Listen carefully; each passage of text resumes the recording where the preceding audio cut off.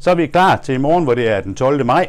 Øh, der vil vi øh, demonstrere i otte kommuner i, i det østjyske, sammen med forhåbentlig en hel masse andre kommuner i hele landet. Forløbig er vi oppe på 74 kommuner, og vi håber sådan set, at der kommer flere.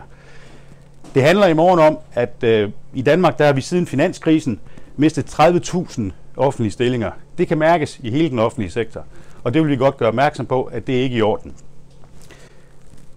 vi prøver så også fra HK's side at sætte fokus på, at, øh, at der er en HK-vinkel på det her. At kernevelfærd det er også de, de job, som HK'erne udfører ude i kommunerne.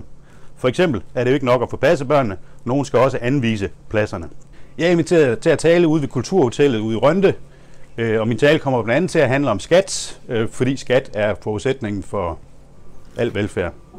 Min forventning er, at, at det bliver en landsdækkende øh, kampagne, hvor, hvor, hvor, hvor vi ser folk på kryds og tværs af forældreforeninger, fagforeninger, politiske partier, alle mulige stille op øh, på tværs.